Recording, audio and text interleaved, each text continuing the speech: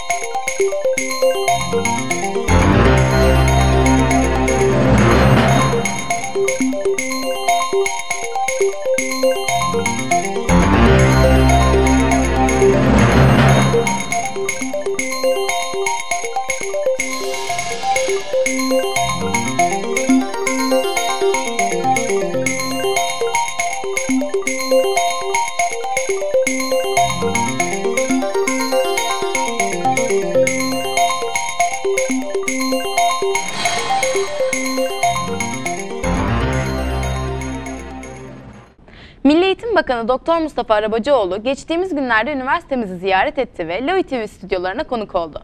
Bakanımızla yaptığımız bu güzel sohbeti şimdi ekranlarınıza getiriyoruz. LOI TV'nin bugünkü konuğu Milli Eğitim Bakanı Doktor Mustafa Arabacıoğlu.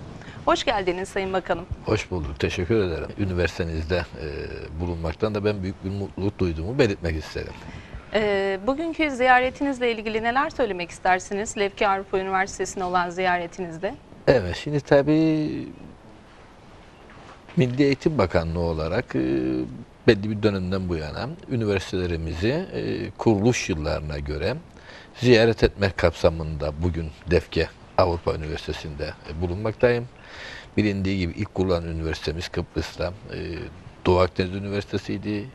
Onu takiben iki üniversitemiz daha kuruldu ve dördüncü 1990 yılında kurulan üniversitemiz ise Defka Avrupa Üniversitesi olduğu için bu bağlamda üniversitelerimizi biz ziyarete e, çıkmış durumdayız. E, tabii üniversite ziyaretleri geçmişte hep seremoni içerikliydi. Yani ya temel atma törenleriyle Açılış ilgili törenleri. açılışlarda Evet. veya açılışta veya diploma e, etkinliklerinde e, bakanlıklar üniversitelerde e, ziyarette bulunurdu ve geldiğimiz zaman da kısa bir konuşma yaptıktan sonra buradan ayrılıp kendi işlerimizin yoğunluğuna gömülür dururduk. Biz bu ziyaretleri yapmamızdaki amaç e, yani bugün hükümet olarak üniversitelerimizle ilgili, yüksek öğrenimle ilgili nasıl bir devlet politikası geliştirmemiz gerektiği konusunda görüş alışverişinde bulunma düşüncesiyle biz bu ziyaretlerimizi yapmaya çalışıyoruz. Ve dediğim gibi bu sektörün içinden gelen, e, rektör konumunda olan veya mütevelli heyeti başkanlığını yürüten kişilerle de e, istişare ederek gerek üniversitenin sorunları, gerek bölgenin sorunları, gerek öğrencilerin beklentileri veya önümüzdeki yıllara yönelik öğrenci akışı ile ilgili oluşabilecek olan sorunların neler olabildiğini ve bu sorunların çözümüne yönelik olarak da hükümet olarak bizlere düşen görevlerin ne olduğu konusunda da istişare içerisinde bulunmaya çalışıyoruz. Yani amacımız o. Ee, peki Lefki Avrupa Üniversitesi hakkında neler söylersiniz? Şimdi tabii- Öğrencilerine ya da 2014-2015 akademik yılında bizim üniversitemizi tercih edecek öğrencilere Şimdi tabii Lefke bölgesi bizim için de ayrıcalığı olan bir bölge onu belirteyim. Lefke konum olarak gerçekten e, Kıbrıs'ın yani Yeşilada denen Kıbrıs'ın en yeşil bölgesi onu belirteyim. Lefke'nin bayrı da özelliği var. Ben askerliğimin bir kısmını da e, burada, Burada Lefke'de yaptın, evet. e, 1982 yılında uzman hekim olarak yapmıştım. Dolayısıyla Lefke'nin bir tabii güzelliği var. O bir yani bu yeşilliğin içerisinde gerçekten altyapı olarak mükemmel bir yapıya sahip. Lefke Avrupa Üniversitesi onu belirteyim. Bunu daha da geliştirme konusunda muhakkak çaba sarf edilmesi gerekmektedir. Ee, bir de benim göre halkına buradan söylemek istediğim özellikle öğrencilerimiz bizim veli nimetimizdir. Bölge halkı için onu söyleyeyim. Ticari yönden asla ve asla öğrencilere bakılmaması gerekir. Düşün Kuzey Kıbrıs Türk Cumhuriyeti tanınmamış bir ülke olmasına rağmen bu ülkede 62 bine yakın yüksek öğrenci yani üniversite öğrencisi e, okumaktadır. Bu 62 bin öğrencinin 12 bin 500'ü Kuzey Kıbrıs Türk Cumhuriyeti vatandaşıdır. Gerisi Türkiye ve Türkiye dışı üçüncü ülke dediğimiz yüzü aşkın ülkeden buraya okumaya gelmektedir. Yani bu çocuklar buraya eğitim amaçlı geldikleri zaman da aynı zamanda bizi tanıyıp gittikleri zaman da tanıtacak olan kişilerdir. Yani tanınmamış bir ülke olmamıza rağmen bu ülkeye gelip bu ülkede eğitim gören gençlerimiz günün sonunda buradan diploma alıp da geri ülkelerine döndükten sonra Kuzey Kıbrıs Türk Cumhuriyeti'nin de bir şekilde fahri temsilcileri olduğunu unutmamamız gerekir. Bu gençlerimize bu gözle burada bakmamız gerekmektedir. Onlar bizim burada belli bir süre için eğitim amaçlı bulunan misafirlerimizdir ve bu misafirlerimize göz bebeği bakmamız gerekmektedir. Ben onu söylemek isterim. Ve burada öğrenci olarak bulunan gençlerimize de Defki Avrupa Üniversitesi'nin kıymetini bilsinler diyorum. Yani böylesine güzel tabiatla, doğayla, güneşle ve böylesine bir altyapıyla, böylesine güzel ekip bir öğretim kadrosuyla birlikte bulunmalarından dolayı da gerçekten şanslı olduklarını söylemek isterim. Evet, Sayın Bakanım, LAU TV'ye, Levki Arpa Üniversitesi'ne geldiğiniz için çok teşekkür ediyoruz. Daha fazla sizin vaktinizi almayalım Evet, içelim. ben de- Verdiğiniz bilgilerden dolayı da çok teşekkür ediyoruz. Ben de çok teşekkür ederim. Tabii bu dördüncü üniversitedir. Evet. İlk daha bir üniversitenin şeyinde TV yayınında da e, böyle bir programa çıkmaktan dolayı ben mutlu oldum. Belirtmek de sizlere çok teşekkür ederim. Biz Sağ çok olun. teşekkür ederiz efendim. LAU TV stüdyolarında bugünkü konuğumuz Milli Eğitim Bakanı Doktor Mustafa Arabacıoğlu'ydu. Bir başka programda tekrar görüşmek dileğiyle. İyi günler. Denizli Gemi Konağı Kalkındırma Derneği'nin her yıl geleneksel olarak düzenlediği Orkide Vadisi Gözlem Yürüyüşü'nün bu yıl dördüncüsü gerçekleştirilecek. Dernek yöneticileri stüdyomuzda söz konusu etkinlikle ilgili merak edilenleri konuştular. Şimdi bu keyifli sohbeti izliyoruz. diyoruz. Merhabalar efendim. Bugün Layo TV stüdyolarından sizlerin evlerinize konuk oluyoruz. Ee, bizler Denizli Gemi Konağı Kalkındırma Derneği'nden arkadaşlarımla yaklaşmakta olan Orkide Vadisi yürüyüşümüz için sizlere bilgi vermek için buradayız. Ee, herkese selamlar tekrardan. Ee, önce size arkadaşlarımı tanıtayım. Ee, başkanımız Sayın Türkay Fotalı, e, turizmden sorumlu arkadaşım Hasan Karlıtaş ve ben Denizli Gemi Konağı Kalkındırma Derneği As Başkanı Nermin Şanlı'da. E, önce isterseniz başkanımızdan başlayalım. Bize derneğimizin kuruluş amacı hakkında biraz bilgi versin. Buyurun. Evet. Denizli Gemi Konağı Kalkındırma Derneği 2007 yılında arkadaşlarla birlikte bölgemizdeki eee, ihtiyaçtan doğmuştur. Bölgedeki eee, birçok farkındalığı ortaya çıkarmak maksadıyla eee, bölgedeki insanlarımızın eee, gerek kültürel, gerek sportif, gerekse e, diğer turizm alanlarında e, farkındalık yaratmalarını ve bunların e, ileriye taşınması için e, çeşitli e, vesilelerden dolayı bu e, derneğimizin kur- kurulması için bir araya geldik ve derneğimizi e, 2007 yılında e, onaylatıp e, yürürlüğe koyduk. E, ondan sonra çeşitli faaliyetlerde e, bulunmuştur derneğimiz.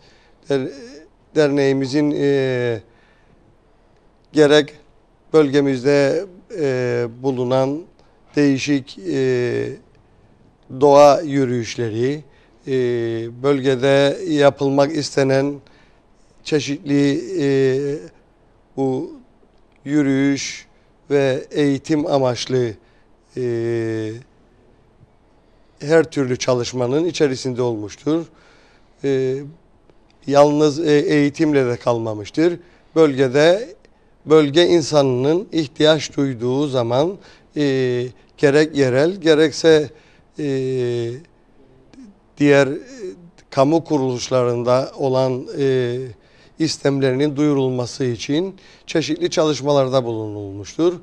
E, bunun yanında bölgemizde e, daha ileride de konuşmalarımızda anlatacağımız gibi çeşitli e, kirli yatırımların yapılmak istenmesinden dolayı bu yatırımların tümüne her e, platformda karşı durmuştur. E, bundan e, bu ilerleyen zaman içerisinde bu faaliyetlerine bu faaliyetlerin neler olduğu konusunda daha fazla bilgi vereceğiz. Ee, bundan do- dolayı bu turizmle ilgili e, bilgileri de bizlere e, turizmle ilgili arkadaşımız Sayın Hasan Karlıtaş anlatsın. Evet Hasan Bey. Sayın Başkanımızın da söylediği gibi e, bölgemiz gerçekten çok güzel ve özel bir bölge. Ancak e, Kuzey Kıbrıs'a baktığımız zaman turizmden en az payını alan bölge Güzelyurt ve Lefke bölgesi. Evet. E, Ben en yeni üyeyim aranızda. E, Son yapılan genel kurulda e, aranıza katıldım ve Denizli e, Gemi Konağı Kalkındırma Derneği 2007 yılından beridir e, bölgede çok faal olan e, bir örgüt. Ve özellikle son dönemde turizm ve çevre konuları ve yürüyüş yaptığı yürüyüşlerle de adından ciddi anlamda söz ettiriyor. Benim yaptığım araştırmaya göre Güzel ve Lefke bölgesi turizmden aldığı pay %2 civarında. Yani %98'lik bir dilim Girne, Mausa, Karpaz, İskele bölgelerine dağılıyor. Bizim bölgemize düşen pay ise sadece %2. Çok. Halbuki e, bunun e, yanında baktığımız zaman tarih, kültür ve doğa değerleri açısından bu bölge benzersiz güzelliklere sahip. Evet. Biz bunun tanıtımında, pazarlanmasında, öne çıkarılmasında demek ki e, yeteri ilgiyi gösteremedik. Özellikle 1974-75 yıllarında madenin kapanmasıyla birlikte bu bölge eskiden madeniyle biliniyordu. Hatta Lefke eskiden 53 köyün merkezi durumunda çok e, önemli göç Ciddi alan göçler almıştı. nüfusu 10 binin üzerinde olan e, bir kasaba durumundaydı. Ancak 74'ten sonra madenin kapanmasıyla birlikte daha çok çevre konularıyla, kirlilik ve vesaire konularıyla anılmaya başladı. Ancak derneklerin yaptığı e, etkin faaliyetlerle özellikle bizim içerisinde bulunduğumuz Lefke Turizm Derneği ve Denizli Gemi Konağı Kalkındırma Derneği son dönemde e, bu bölgenin en yeşil bölge olduğu Yeşil Lefke adıyla e, faaliyetler yürütüyor. Ve e, Kıbrıs'ın en yeşil kasabası Lefke, Yeşilırmak, e, Gemi Konağı, e, Yedi Dalga, Bağlıköy, Gaziveren'den oluşan e, ve diğer köylerden oluşan bu bölge e, hem doğa açısından hem botanik açısından son derece zengin güzellikleri barındırıyor. Bu zim yapmamız gereken e, 2 Mart'ta yapılacak Orkide Vadisi yürüyüşü gibi çevre dostu, çevreci turların, çevreci turizmin bu bölgeye yayılması ve bu, bu bölgemizin, bölgenin tarih, kültür ve doğa değerleriyle anılmasıdır. E, Bana göre bölgenin geleceği e, turizmde, iyi tarım uygulamalarında ve e, eğitim e, sektörlerindedir. E, Lefke Avrupa Üniversitesi'nin olması bölgemiz için büyük bir avantajdır. Bunun dışında e, bölgemizin çevre açısından çok zengin olması yine çok e, ciddi e, bir potansiyeldir. Tarihi değerler açısından Lefke kasabasının tarihi otantik dokusu çok önemlidir. Bunları koruyarak e, Yeşilırmak'taki doku, Bağlıköy, e, Lefke ve e, Doğancı'ya kadar uzanan bu bölgeyi, Güzelorta kadar uzanan bu bölgeyi hatta Kalkanı'dan alıp ayrı bir turizm konsepti geliştirmemiz gerekiyor başarılı olmak için. E, ben bu noktada ara vereyim ve ben size sormak isterim e, Nermin Hanım. 2 Mart'ta e, 4. Orkide Vadisi yürüyüşümüz Evet. var. E, katılımcıları neler bekliyor bu e, yürüyüşe gelenler Ben de neler? onlardan bahsedeyim. Evet, katılımcılarımızı çok güzel bir gün bekliyor. Herkesin katılmasını tavsiye ediyoruz. Ee, sabah 10'da Layu giriş kapısından hareketimiz başlayacak. Ancak saat 10'da Layu giriş kapısında toplandığımız anda orada GASAT'ın e, güzel bir halk dansları gösterisi olacaktır. Herkese katılım belgeleri verilecektir. Ee, tekrar e, yürüyüşümüz ondan sonra başlayacaktır. Ee, belli bir mesafe yürüdükten sonra ara verip orada meyve suyu e, ve sandviçler ikram edilecektir. Orada dinlenmemizi yaptıktan sonra tekrar e, parkurumuzu yürüyüp gözlem yürüyüşümüzü tekrar Layu giriş kapısı önünde bitireceğiz. Herkesi bugüne davet ediyoruz, bekliyoruz. Güzel bir gün geçireceklerine inanıyoruz. Ee, orada bol çeşitli orkideler ki biraz önce Hasan Bey bahsetti orkidelerden ancak ben çeşitlerini çok bilmediğim için sözü tekrar ona vereceğim. Orkideler, laleler, e, dağ kekikleri, ada çayları yani bitki örtüsünün bol ve güzel olduğu bir bölgeden yürüyecekler. Ee, kendilerini manzara da bekliyor. Deniz manzarası, dağ manzarası bir taraftan. Ee, herkesi bekliyoruz. Ee, Hasan Bey bize orkidelerden biraz bahsederseniz sevinirim. E, Yürüyüşümüz 2 Mart Pazar günü e, sizin de söylediğiniz gibi e, saat 9.30'da orada toplanılacak. 10 gibi de yürüyüşe geçilecek. Yaklaşık 6,5 e, kilometrelik bir parkur yürünecek ve parkurun da ismi e, Orkide e, Vadisi isimlendirildi. Bunun da sebebi bu bölgedeki e, en fazla orkide türlerinin görüldüğü parkurun bu parkur olması. Ee, geçtiğimiz haftalarda Atilla Karaderi hocamla bu bölgede bir e, ön keşif yürüyüşü yaptık. Şu anda Kıbrıs'ta, e, Kuzey Kıbrıs'ta 34 tane orkide türü var. Evet. Bu parkurda 20'nin üzerinde orkide türü gözlemlenebilecek. Bu son derece e, önemli ve büyük bir zenginliktir bölgemiz için.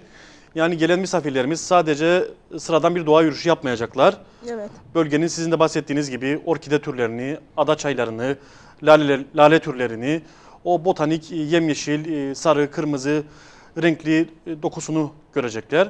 Ve muhteşem bir manzara eşliğinde özellikle fotoğraf severler, doğada güzel bir gün geçirmek isteyenler yürüyüşümüze katılırlarsa hem güzel bir gün geçirecekler hem de çok sayıda orkide türünü görme şansına sahip Ayrıca olacaklar. buradan belirtelim e, yürüyüşümüz kesinlikle e, ücretli falan değildir.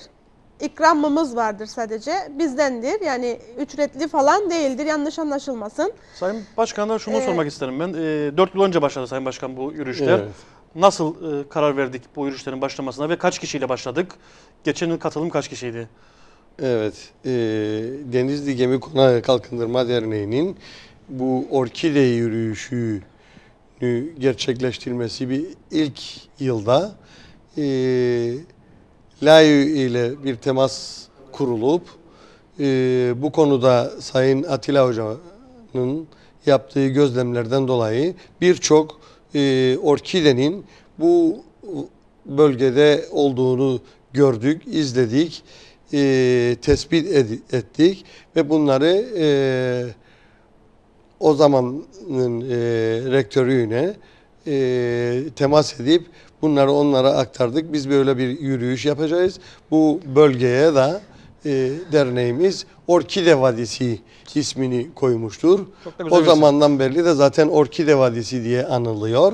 E, geçenlerde de e, geçen haftada e, Sayın Hasan Karlıtaş arkadaşımız Atilla Hoca ile ve diğer bir arkadaşla e, hep bu yolların e, isimlendirilmesi ve tabelaların, küçük işaretlerin konulması yönünde e, bir çalışma yapmışlardır. E, onlar tespit edilmiştir. Bir de e, bu önümüzdeki hafta bakırdan ve e, oyma ağaçtan yapılmış çok güzel.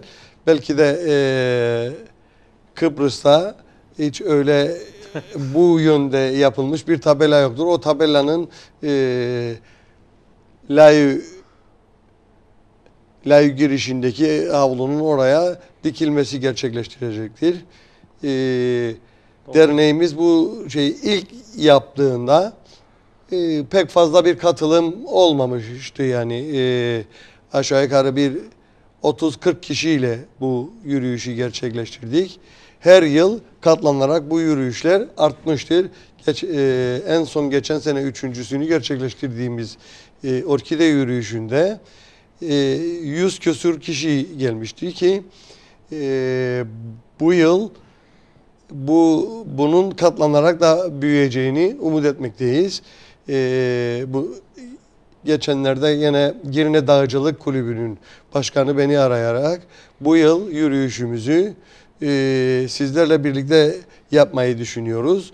Gününü bizden istemişlerdi. Biz de onlara e, bildirdik ve katılacaklarını belirttiler. Bunun yanında biz e, Lefkoşa'da da gezdiğimiz, gördüğümüz yerlerde ve yaptığımız e, duyurularda aldığımız tepkiler bu yıl e, herkesin e, bu yürüyüşe katılma arzusunda olduklarını gördük. E, o gün 2 Mart e, Pazar günü 9-9.30 civarında e, Layu e, giriş kapısının önünde toplanıyoruz ve orada yalnız o toplanmanın bir de e, çok güzel bir sosyal yanı vardır. Herkes birbiriyle orada e, yeni tanışlar oluyorlar. E, ondan sonra e, Eski dostlar buluşuyor. eski dostlar buluşuyorlar. Kimisi e, köpeğini getiriyor gezdirmek için. Kimisi çoluk çocuğunu fotoğraf makineleriyle e, çok güzel bir görünüm oluyor ve e, hep beraber e, konuşmalar yapıldıktan sonra yürüyüş e, yolunun nasıl, nereden güzergahın e, anlatıldıktan sonra nerede ne, ne şekilde nasıl hareket edileceğini ve doğadaki bitkilerin, orkidelerin kimse tarafından e, sökülmemesi, ellenmemesi bunlara e, herkese bilhassa e, Anlatılıyor. belirtiliyor, anlatılıyor. Bizim de zaten bu e, orkide yürüyüşünü düzenlememizdeki amaçlarından bir tanesi de farkındalık yaratıp e, bu yerinde güzel, doğada güzel e, bitkilerin, orkidelerin ve diğer e, bitki örtüsünün yalnız doğada güzel olduğunu herkese göstermek, herkese herkesin bu farkındalığı farkına varmasına sağlamaktır. E, o 2 Mart günü e, bütün Kıbrıs'ta bulunan doğa severleri, yürüyüş severleri e, derneğimizin LAYO ile birlikte gerçekleştireceği bu yürüyüşe herkesi de bekliyoruz. Ee, ben bir şey daha bahsedeyim. Bizim e, arkadaşlarla birlikte iki dernekte birden çalışıyoruz biz. Hem Lefke Turizm Derneği hem Denizli Gemi Konağı Kalkındırma Derneği. Ayrıca bizim bu derneklerle işbirliği içerisinde bir tiyatro kulübü de kurulmuştur. Ee, yakında bir oyunumuz sergilenecektir. Buradan da onun müjdesini verelim. Lefkeli Yavaş Tiyatro, Lefke'de Yavaş Tiyatro diye e, şey başlığı altında. Güzel bir de tiyatro gösterimiz olacaktır. Evet Hasan Bey, e, bir turizmci aynı zamanda da bir rehbersiniz. E, geçtiğimiz aylarda e, yaklaşık bir yıl oluyor. Lefke'de Çita Slov konusu gündeme gelmişti ancak başarılı olamadı e, bu konuda Lefke. Ne diyeceksiniz bize bu konuda? Aslında biz Lefke'de neler yapılırı hep birlikte düşünürken e, o dönemlerde Turizm Bakanlığı'nın müsteşarını da Lefke'ye e, çağırdık ve Lefke'nin turizmini nasıl geliştirebilirizin e, fikir alışverişini hep birlikte yaparken e, o günkü toplantıda yavaş şehir olarak ya da sakin şehir olarak Lefke'nin gelişimini fikri ortaya çıktı. Ve bunu 2013-2015 e, TCKKTC Mali İşbirliği Protokolü'ne kadar yazdırmayı da başardık. Başardık. Hatta e, şu anki hükümet programına da girdi. Lefke yavaş şehir veya sakin şehir veya Cittaslov olarak geliştirilecektir diye. Ancak o dönemde e, üniversitenin e, öncülük etmesiyle birlikte tüm sivil toplum örgütleri ki Denizli Gemi Konağı Kalkındırma Derneği de burada çok faal bir rol e, Evet. üstlendi. E, başını çektiği e, bir grup oluştu ve sürekli toplantılar yapmaya başladık. Komiteler kurduk. İşte eğitim komitesi, işte turizm komitesi, yerel ürünler komitesi, e, slow food dediğimiz yavaş yiyecek komitesi, organik tarım komitesi, şehir planlama komiteleri gibi harıl harıl herkes e, var gücüyle Evet. katkısını ortaya koydu. Ancak e, ne yazık ki bizden daha sonra bu yola katılan Yeni Boğaziçi e, daha iyi, daha örgütlü çalışarak Mimarlar Odası'nı e, ve üniversiteyi kullanarak e, belediyenin de katkılarıyla e, Kıbrıs'ın, Kuzey Kıbrıs'ın e, ilk sakin şehri olma ünvanını aldı. Biz Lefke daha önce başlamamıza rağmen e, belli başlı yaşanan sıkıntılardan dolayı bu e, yola da daha geriye düştük. Geç Ancak kaldık. bence umudumuzu kaybetmeyelim. Lefke Kıbrıs'ın en güzel kasabasıdır. En Evet, yeşil, en de. özel kasabasıdır. E, Lefke'deki 41 tane Osmanlı e, konağı, e, hurma, ceviz, portakal ve zeytin ağaçlarının birlikte o uyumlu dokusu, Aslında burada gelişmemişliğin de öne çıktığı ve avantaja döneceği bir yer olarak değil mi? Çok haklısınız. Çünkü Lefke'nin 74'ten sonra e, ihmal edilmişliği şu anda iyi bir planlama ile avantaja dönüştürülebilir. Ancak e, yapmamız gereken bu bölgeye özel, Lefke ve Güzörp bölgesine özel bir gelişim planı hazırlamaktır. Ve bu bölgeye gerekirse özel korunmaya muhtaç turizm bölgesi ilan edip e, bu bölgede özel ilgi turizmini yani biz devasa e, 1000 evet. kişilik, 500 kişilik oteller değil, daha çok dokuyla uygun, e, yerel mimariye uygun, insanların gelip huzur bulacağı, farklı zaman geçireceği bir yapı öngörüyoruz. Zaten geçtiğimiz haftalarda da, e, ay daha doğrusu bir karar geçti. Lefke Sit alanı ilan Evet. edildi. Ve bundan sonra Lefke merkeze iki katlı binaların haricinde yüksek binalar yapılamayacak. Lefke dikey değil, yatay Gelişecek. gelişecek. Hem e, kentsel karakteri korunacak hem doğal mimarisi korunacak Lefke'nin. Ki bu önemliydi e, bize göre. Ve e, köy köy, Yeşilırmak'tan başlayarak bir bir Yeşilırmak, e, işte Bademliköy, Yedidalga, e, Bağlıköy. Bağlıköy, Gemi Konağı, Yeşilyurt, Gaziveren gibi bu köyler bir bir bu planlamaya dahil edilip Lefke merkez olmak kaydıyla doğru bir planlamayla bu bölge sadece kuzeyin değil tüm Kıbrıs'ın en özel ve en güzel bölgesi e, olmaya adaydır. Hatta e, şu anda da öyledir. Ancak e, sihirli bir elin bu bölgeye dokunması gerekiyor ki bu bölge güzel bir planlamayla, doğru bir planlamayla ilerlesin. E, yürüyüş yolları güzel bir şekilde yapılsın, bisiklet yolları yapılsın, mimari doku bozulmasın, e, turizmle halk barıştırılsın. Evet. E, bu çok önemlidir. O yerellik ve otantiklik turizmin en önemli noktalarıdır. Yani artık Avrupalı e, gürültünün, kalabalığın olduğu yere değil, farklılık Sakin. arar, sakinlik arar. Yerel kültürü gittiği ülkede görmek ister. Yerel yemekler bulmak ister. O ülkenin insanıyla vakit geçirmek ister ki bizim bölgemizde bu fazlasıyla vardır. Evet. Ben de size bu, bu vesileyle şunu sormak isterim Emine Hanım. Siz de e, el sanatları ve yerel komitede Evet. çalıştınız. Lefkeli kadınlar e, neler yaptı, neler üretti bu Lefkeli süreçte? kadınlar e, biz hem köy kadın kursu olarak hem de Lefke Tarım Turizm El Sanatları Kooperatifi kurduk. Orada yaptığımız el işlerimizi, e, yaptığımız evde yaptığımız reçeller, macunlar, tatlılarımızı orada sergileme imkanı diye bulmak için bir dükkan açtık zaten. Orada bazı arkadaşlarımız görev alıyorlar. Ben de içindeyim tabii ki. Evde yaptığımız ürünleri oralardan işte halka e, yani aracısız pazarlayabilmeyi amaçlıyoruz. İnşallah bunda da başarılı olacağız. Çok yeniyiz daha kooperatifin kurulması ama başarılı olacağımıza inanıyorum. Çünkü hanımlar çok yaratıcı. Çok güzel. Ee, düşünün siz turuncu rendelediler. Turunç macunu yaptılar ve turuncun o kabuğundan rendesinden bile reçel yapan arkadaşlarımız var ve bu beni çok sevindiriyor. Herkes yaratıcı yani bir şeyler atmayalım. Hurma dalından da sanıyorum çok değişik Hurma şeyler yapıldı. dalından sepetler, zembiller. Hatta ben şimdi e, bir çalışma yapıyorum. Gazete kağıdından zembiller yapıyorum. Evde bunu yapardım bugün geldiğimde. Gazeteden zembiller yapıyorum. E, hep söylüyordum zaten arkadaşlara. Ben bu gazete kağıtlarını atarken çok acıyorum. Yazık çünkü bu ağaçtır. Ta köküne git, e, kağıdı da bırak ağaca git. Bu bir ağaçtır. Kaç milyonlarca ağaç kesilir, tüketilir ki o gazete gelene kadar. Neler geçer, ne aşamalardan geçer. Ben hep acıyordum zaten. Şimdi onu bir gördüm, bir düşündüm ki onu faydalanabiliriz o gazete kağıdından. Geri dönüşüm. Geri dönüşüm ve ben onu yapmaya çalışıyorum evde. Ee, bir faaliyet daha insan kendini de unutuyor. Dertleri, stresleri, ev işini boş ver. Ee, yapıyorum ama başkanımıza ben e, geçen gün yürüyüş esnasında bir arkadaşın bana şikayette bulunması biliyorlar ki biz dernekteyiz de zaten.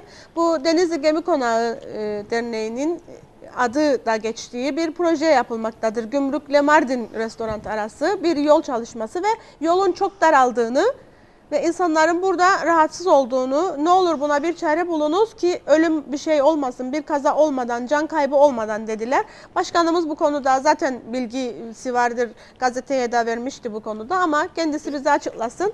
Evet.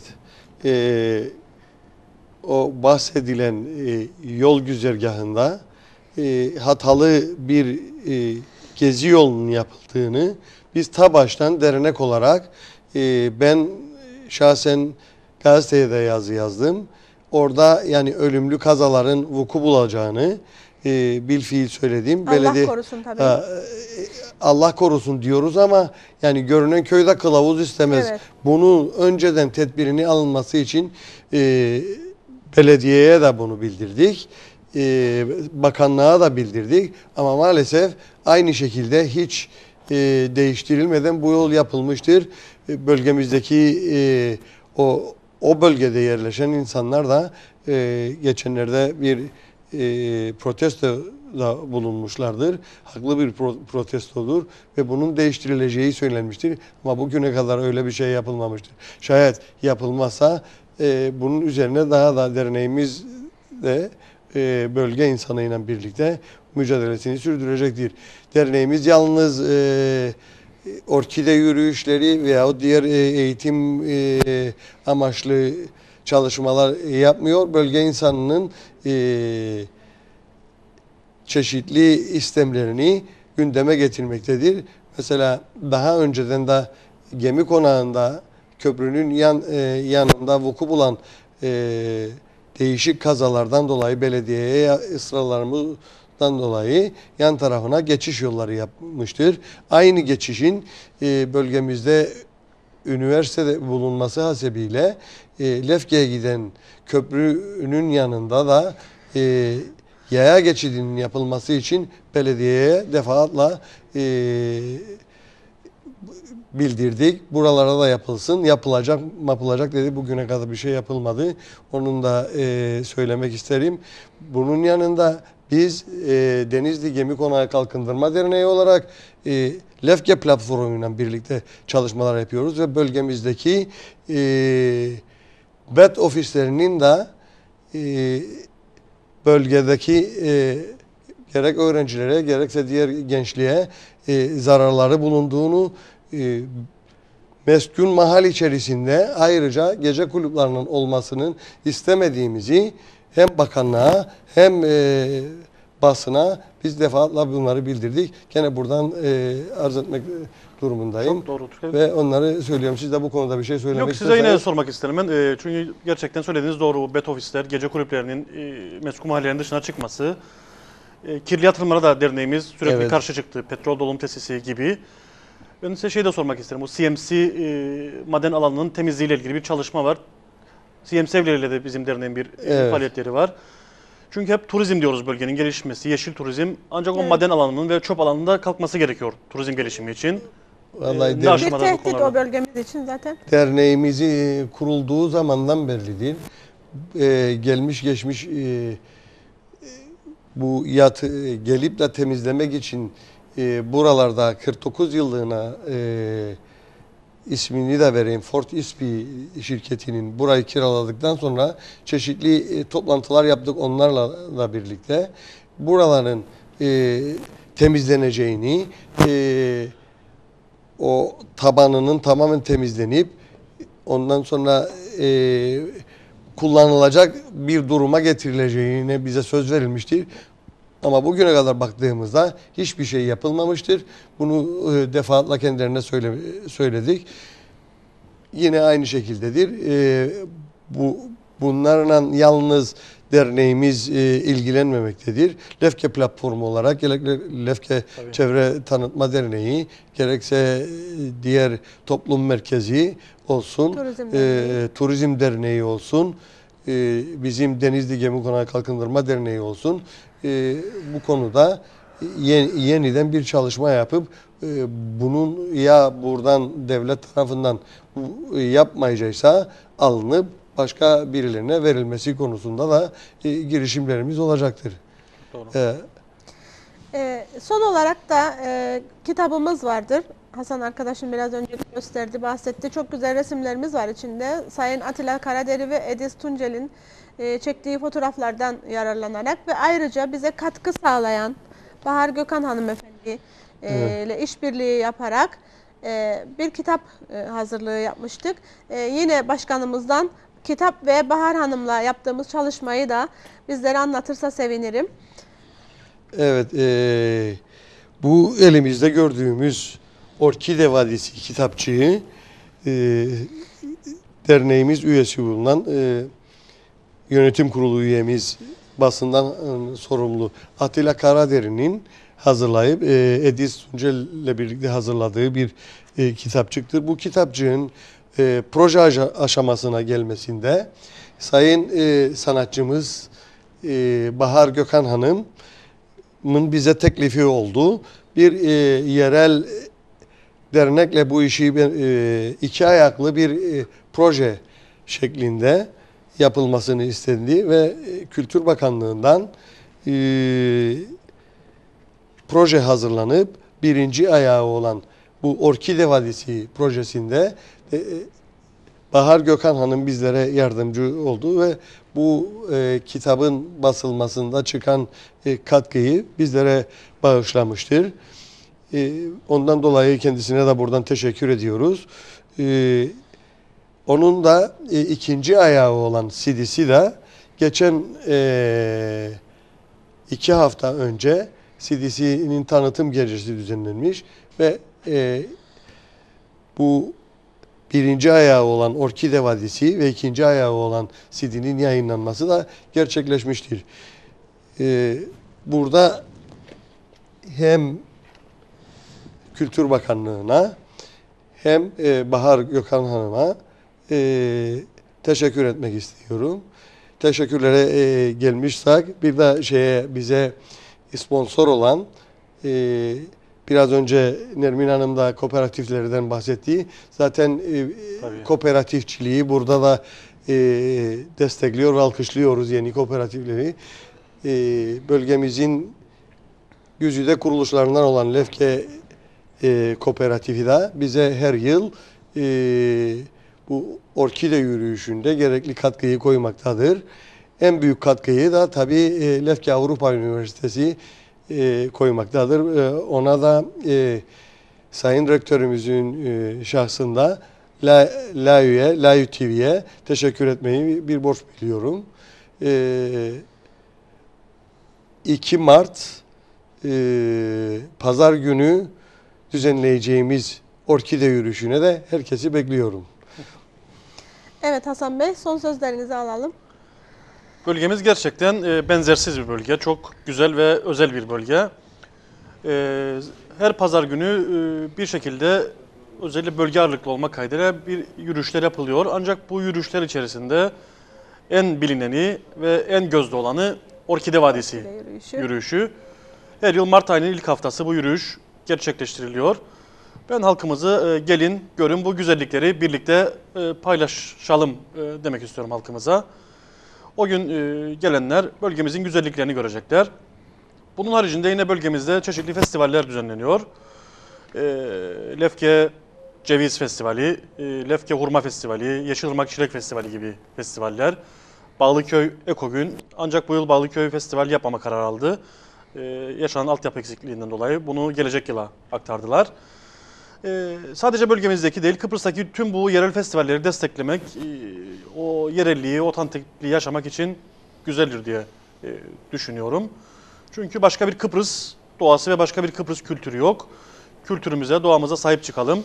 Evet. Bu yürüyüşler de bunlar için çok güzel birer vesile. 2 Mart'ta tüm halkımızı e, bekliyoruz. bekliyoruz. Siz neler söyleyeceksiniz?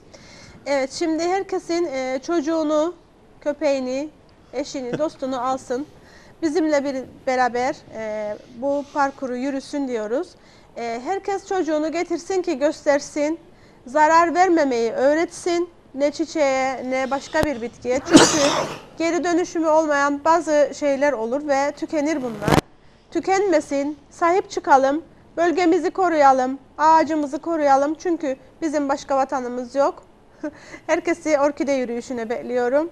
İyi günler efendim. Tekrar görüşmek ümidiyle.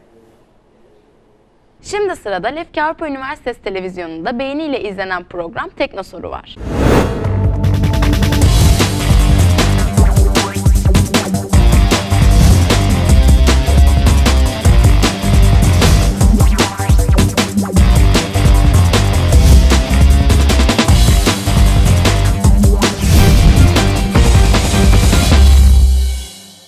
Live TV ekranlarından yayınlanan Teknosoru programından herkese merhabalar. Yepyeni bir programda teknolojiye böyle ışınlamasına gireceğimiz bir programda daha huzurlarınızdayız. Ben Umur Çolak.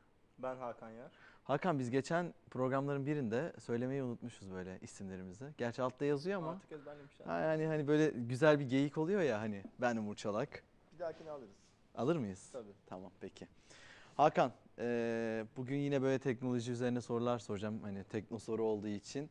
Eee, Facebook üzerinden yine çok güzel sorular geldi. Mail olarak da geliyor. Eee, bugün cihazlardan da konuşacağız. Hani cep telefonlarındaki problemlerinizi de ele alacağız. Bunun yanı sıra eee, bilgisayarla alakalı da sorular soracağım sana. Evet, Tekno Soru'da yepyeni bir soruyla huzurlarınızdayız. Hakan, bilgisayarımı uzaktan kontrol etmek istiyorum ee, cep telefonumla. Bu mümkün mü? Hani ne yapmam lazım? Aslında mümkün yani Umur. Mesela ki sen bazı dosyalarını bilgisayarında falan unutabilirsin örnek veriyorum. Ya da ne bileyim bağlanman gerekir evindeki bilgisayarına, masaüstü ya da dizüstü bilgisayarına. Ya aslında bu basit yani Umur sen yapabilirsin bunu.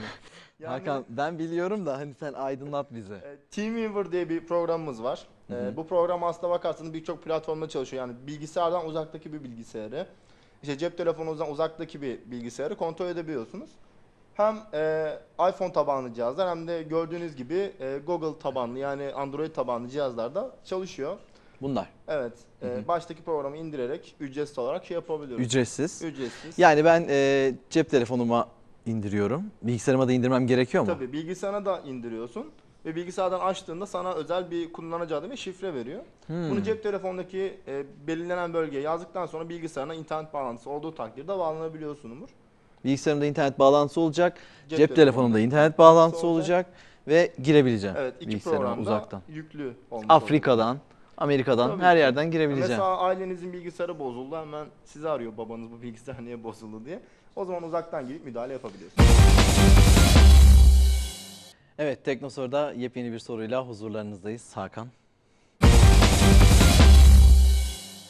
Evet Hakan'cığım. Şimdi ben e, cep telefonumla sokakta yürüyorum. internetim falan her şeyim var. Ama kayboldum. Ne yapacağım? Ne yapacağım ben yani? De- Bana bir navigasyon, bir haritam da yok, bir pusulam da yok. Ne yapacağım? Ya şimdi aslında bakarsın en basit mantığı şudur. Yani Google'ın harita uygulamasına girerek yani oradan Buraya. yani ki online olarak görebiliyorsun. Aynı zamanda bu cep telefonlarında da girebiliyor. Ee, yine uygulaması var ve online da girebiliyorsun yani tarayıcının üzerinden. Şu an bir ülkeye gidiyoruz biz de. Evet. Evet. Hangisine gidelim? Ee, bence? Avrupa'ya gidelim. Avrupa'ya gidiyoruz o zaman. United şu an neredeyiz? United States, Amerika'dayız şu anda. Amerika. Fazla gittin sen. ben biraz buradan mouse'u kontrol edemiyorum kusura bakmayın sevgili izleyenler. Hakan eee, bu ücretsiz mi? evet ücretsiz. Google'a direkt ne yapmamız lazım? Google Maps. Maps.google.com'a girerek harita hizmetinden yararlanabiliyorsunuz. Peki güncel mi hani sürekli? Şimdi haritalar güncel ama belirtmek istediğim bir şey var. Mesela e, Türkiye'de Google navigasyonun e, işte tam olarak kullanılmadığından falan bahsediyoruz. Evet sistem tam olarak bize bunu kullandırtmıyor ama ufak tefek işte Türk işi numaralarla mesela işte belirli adresler işte arasında yine bu navigasyon sistemini aslına bakarsan biz kullanabiliyoruz. GPS'imizin olduğu cihazlarda ancak. Yani kaybolmak mümkün değil. Ücretsiz olarak eee, cep telefonlarınızdan, akıllı cihazlarınızdan Google Maps'e girerek konumunuzu Bulabiliyoruz. bulabiliyorsunuz. Ve Gitmek istediğiniz yere bir de, gidebiliyorsunuz. e, ek olarak belirtmek istediğim bir şey var tabii. evet. Ee, nasıl Windows'un hani birçok rakipleri çıktı zamanla ve Google Maps'e de bir rakip çıktı Rusya'dan. Hı hı. Ee, Yandex'in daha Türkçeleştirilmiş ve Aa. daha e, geliştirildiğini söyledikleri bir uygulaması var. Yine aynı şekilde harita.yandex.com.tr'den e, o uygulamaya girebiliyoruz. Aa Yandex açıldı. Evet. Süper. Bu uygulamadan da yine aynı şekilde Google'daki gibi Hadi bizi e, Kıbrıs'a götür. Hadi. etraflıca haritaları Hadi bizi. Kıbrıs'a götür. Kuzey Kıbrıs'a gidelim bir. Evet, bir Kıbrıs'a gidelim. Hakan bizi Kıbrıs'a götürüyor şu anda. Evet, az kaldı Hakan. Hemen aşağı. Hakan bulamıyorsun Kıbrıs'ı. Yok bulamıyorum de şu an bizim Aşağıda, biraz daha. Mouse'a Aşağı. Evet. İşte bulduk. Evet. Evet. Yandex'i mi tavsiye ediyorsun yani sen? Aslına bakarsanız ikisini de kullanabilirsiniz. Türkçeleştirilmiş derken hani daha mı bize yakın nedir yani? Bize biraz daha yakın. Daha mı Yani Alaturka? Neden e, böyle söyledin? Yani şu şekilde söyleyeyim.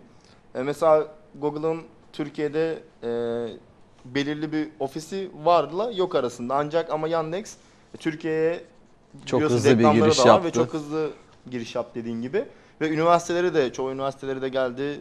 Kendi sistemlerinden bahsettiler. O sebepten ötürü yani Yandex'te kullanılabilir ve çok iyi bir alternatif olarak gözüküyor. İleride Google'ı bayağı zorlayacak. gibi. Evet, Google ve Yandex var. Bir sürü seçenek var. Bir sürü vardır Evet, navigasyon tabii. ücretsiz. Yani kaybolmanız artık mümkün değil. Akıllı cep telefonlarınızdan nasıl yön bulacağınızı, navigasyonu nasıl ücretsiz kullanacağınızı sevgili Hakan bizler için yanıtladı. Teşekkürler Hakan. Tekno Soru ekranlarında yepyeni soruyla, yepyeni bir soruyla huzurlarınızda. Hakan, bir cep telefonum var biliyorsun bir sürü var. Evet. Ee, onlardan bir tanesinin 8 GB'lık bir hafızası var. Kendi hafızası. Evet. Fakat bu yetmiyor haliyle. Ee, bir sürü bir sürü şey indiriyoruz, yüklüyoruz vesaire. Ee, hafıza kartı harici ekstradan bir hafıza kartı kullanıyorum. E, ama bu sefer de telefonum çok fazla yavaşlıyor. Ne yapmam lazım? Yani hafıza kartını seçerken de dikkat etmemiz gereken unsurlar var mı? Nedir yani? Ya şimdi normalde Umur biliyorsun biz genelde e, en uygun fiyatlısı ve işimize yarayacak en iyisini almaya çalışıyoruz. Hı hı. Ama işimize yarayacak derken biz kapasitenin önemli olduğunu düşünüyoruz. Yani mesela işte 8 GB'lık bir hafıza kartı olsun diyoruz. Ama hani bu hafıza kartının 8 GB'lık veriyi kaç ne kadar sürede yükleyeceği hakkında herhangi bir fikrimiz yok. E şimdi telefonların kendi hafızası e, normal hard disk sistemi gibi çalıştığı için e, çok hızlı e, işlem yapabilmekte. Bu yüzden telefonlara pek yoğunluk getirmiyor. Ama e, sonradan ekleyeceğimiz hafıza kartı e, Umurcuğum e, belli sınıflara ayrılmış. Yani şu şekilde e, Class 2, Class 4, Class 6, Class 8, Class 10 ve hatta bunun daha da hızlandırılmış şekilde olanları var. Bu şekilde hafıza kartları modellere ayırmış. Nedir bu klaslar diyeceksin yani sınıflar? E, mesela Class 2 bir hafıza kartı 2 MB yazıyor saniyede. Class 10 olan 10 MB yazıyor ki ve aynı zamanda okuma hızları da bu şekilde. E, biz klası yüksek yani okuma ve yazma hızı yüksek bir hafıza kartı aldığımızda hem verilerimizi daha iyi kopyalayıp aynı zamanda telefonda verilerimizi daha hızlı görebiliyoruz. Ama bizde biz genelde sınıfına bakmak e, tercih etmeyip e, 4 GB'lık işte Class 10 kart almak yerine kapasite arttırımından dolayı 8 GB'lık Class 2 bir kart alıyoruz Peki. ama zaman kaybediyoruz. Hakan bir şey soracağım. Ee, diyelim 4 GB'lık bir hafıza kartı almak üzereyiz. Ee, klası yüksek diye fiyatı yüksek mi oluyor? Evet, yani klası yüksek kartların e, fiyatı daha da yüksek oluyor. Hatta onun çok geliştirilmiş e, sistemleri de var. İşte 10 işte sınıf 10. sınıf ancak çarpı 10 diyor. Yani mesela daha hızlı yazma özellikle olanları da Hakan var. çok karışık. Ve fiyat yükseliyor yani. Yani biz en azından gidip alırken danışacağız. Klası yüksek bir ee, Yani şu an için Hafıza tercihen Class 6'dan daha düşük bir hafıza kartı kullanmazsak telefonlarımız için ve aynı zamanda kart kullanan fotoğraf makineleri için minimum Class artı tercih edersek uygun olur. Evet, harici herhangi bir hafıza kartı kullandığınız takdirde bir- telefonunuzun ya da fotoğraf makinenizin yavaşlamamasını istiyorsanız Hakan'ın bu söylediklerine kulak vermiş olmanız gerekiyor. Teşekkürler Hakan. Evet, Teknosoru ekranlarında yine faydalı bir soruyla bu sefer bugünün yani diğer sizlerden gelen sorusuyla karşınızdayız. Hakan, cep telefonuyla elimizde bir cep telefonu var. Başka hiçbir şey yok. Ee, sokakta yürüyoruz. Bilmediğimiz bir yer. Paris'te mesela Şanzelize Caddesi'nde yürüyorum. Yani bir kafedir, bir e, ne bileyim restoranttır, bir mekandır bilmiyorum. Hemen bana telefonumdan o bulunduğum noktadaki restoranları, mekanları, kafeleri gösterebilecek bir program tavsiyen var mı? Ee, var. Var. Yani şöyle bir şey, e, aslına bakarsan dünyada bunun birçok örneği var. Yani mesela Google'ın Maps uygulamasından da bu tür mekanları yurt dışında bulabiliyorsun. Aynı zamanda yani Türkiye'de şu an sıkça kullanılmaya başlayan Foursquare uygulamasıyla da aynı şeyleri yapabiliyorsun ama bizim daha çok Türkiye'de kullandığımız ve Türkiye'de e, birçok mekanın bulunduğu, e, çok yaygın olarak kullanılan ve Türk yani kişiler yani Türkiye insanlar tarafından yapılan geliştirilen bir site var. Aynı zamanda bunun e, cep telefonları için Android Uygulaması ve, da var. Evet, iOS uygulamaları da var. Mekanis.net Net. sitenin adı. E, bu siteye işte üye oluyoruz Hı hı. ve o an işte GPS'te yer durumumuzu belirliyoruz ve belirlediğimiz yerlerdeki restoranlardan tutun sinemalara kadar bütün hani e, sosyal mekanlara, eğlence mekanlarını bize bahsediyor. Bunun aslına bakarsanız avantajı çok kullanılan bir site olması. Ve aynı zamanda buraya giden kullanıcılar bulundukları restorana puan veriyorlar. Ve yorumlarda bulunuyorlar ki hani siz de o zaman hangisine gidip gitmeme konusunda daha rahat karar Ben onlar ne diyorsa tam tersini yaparım. O da başka bir tercih tabii.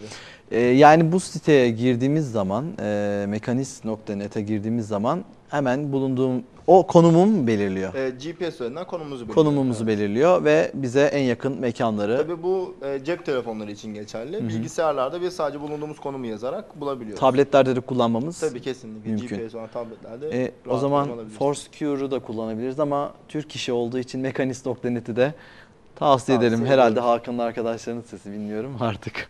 Teşekkürler Hakan'cığım sağ ol.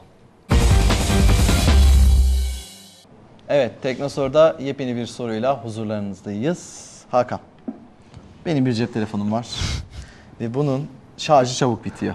Evet, yani bu cep telefonlarından sadece bir tanesi. Çok oynarsan şarjı çabuk biter. Çok oynamıyorum Hakan. Facebook ve Twitter'da çok dolaşıyorum. Yani her şey bitiriyor o zaman. Konuşmak bitiriyor. Oyun oynamak. E ne yapacağız biz? Bunun bu sisteme yani bu gidişata bir dur de ve telefonumun şarjımı şarjını arttırmanın bir yolunu bul. Bak konuşamadım artık. Sana teslim ediyorum. Ya öncelikli olarak tabii e, şarj yiyen en çok kullandığımız sistemlere bakabiliriz. Mesela e, Wi-Fi ayarlarımız yani Wi-Fi sürekli açıksa e, kullanmadığımız zaman Wi-Fi'yi kapatabiliriz. Aynı zamanda GPS'i ve Bluetooth'u kapatırsak e, şarjımız bir müddet daha uzun gider. Ama tabii bir tek bununla bitmiyor. Ekran parlaklığı da çok önemli. Pili çok zarar veren bir nokta. Bunda ekran parlaklığını otomatik bazı telefonlar otomatik olarak ayarlıyorlar ışık sensörleriyle. Bu şekilde ayarlarsak da en azından daha verimli bir sonuç elde ederiz. Tabii yine bitmiyor. Yani bu şart bitecekse her şekilde e, bitiyor. Bu yüzden de mesela tercih olarak da mesela e, internet paketi kullanıyorsak cep telefonundan e, biz hız delisi olduğumuz için genelde 3G şebekeleri tercih ediyoruz ama e, fazla hıza ihtiyacımız yoksa e, 3G şebekeleri yerine yani 3G şebekeleri yerine normal 2G yani standart GSM şebekelerini seçerek ki çoğu telefonun şebeke ayarlarından bu yapılabiliyor. E, veri iletişimini normal şebeke sistemi üzerinden yaparak daha az şarj gitmesini de sağlayabiliyoruz aynı zamanda.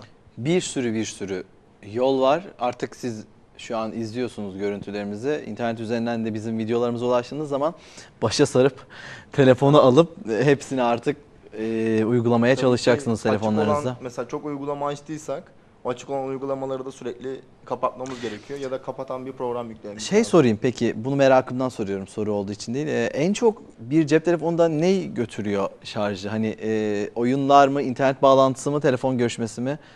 Nedir? Açıkçası ya o da çok değişken bir durum. Eğer baz istasyonuna uzak bir yerdeyseniz telefon görüşmesi Çekim normal bir gücünü oyundan daha fazla götürebilir. için daha çok şarj harcayabiliyor. 3G'de Wi-Fi'den daha çok şarj harcayabilirsiniz. Bir de 4G gelecek. 4G Ne olacak? sistemleri henüz tabii ülkemize gelmesi biraz erken. Ki aslına bakarsan standartlaşmış da bir sistem değil. Ama nedense tabii bazı Hayır o ülkelerde gelince bir de onu tavsiye düşün diyorum. Daha az enerji tüketimi Öyle mi? olduğunu söylüyorlar ama ne kadar doğru tabii testlerde tam olarak bilemiyoruz. Evet. Sevgili Taylan'ın da büyük derdi kameramanımızın. Telefonunun şarjının erken bitmesi. Tayland'da cevabını almış oldu. Sizler de izleyenlerimiz olarak cevabını almış oldunuz. TV ekranlarından yayınlanan Teknosoru programının bu haftalıkta sonuna geldik Hakan. Evet Umur bir hafta çok çabuk geçti. Çok yaparız değil mi? yani bir dahaki programa inşallah daha e, güzel ve daha böyle iyi sorular bekliyorum. Deyip Evet. bitiriyoruz. Kapatıyoruz bilgisayarımızı. Hakan'ı görmüş olun siz böyle. Ne giydiğini bu arada. Evet, Live TV ekranlarında tekrar haftaya bu ekranlarda görüşmek üzere. Teknolojiden uzak kalmayacağınızı biliyoruz. Çünkü her yerde bir telefon, her yerde bir bilgisayar var. Kameramanımız Taylan'a çok teşekkür ediyoruz. Sayın yönetmenimize de buradan teşekkür ediyoruz. Yönetmenim ismini bir kulağıma çıtlatırsa. İsmail. İsmail'e de çok teşekkür ediyoruz. Haftaya kendinize, haftaya kadar kendinize iyi bakın. Görüşürüz. Hoşçakalın. Lefke Avrupa Üniversitesi ve bölgemizle ilgili haftanın olaylarından derlediklerimizle karşınızdaydık. Haftaya tekrar aynı saat ve kanalda görüşmek üzere. Hoşçakalın.